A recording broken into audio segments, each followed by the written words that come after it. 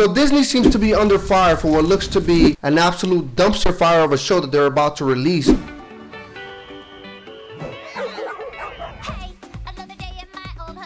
They live in this made-up city of Terremoto Heights, which Terremoto is the Spanish word for earthquake. This show wasn't made for Latinos, and so rightfully so, they got a lot of backlash. And we got one of the voice actresses for this show came out and said this about the backlash that the show is receiving. The Spanish language is not a Latin American language. It's a language the Spanish conquistadors forced upon Latin American. The only reason we're Latin people and not Native American people is because of that distinction.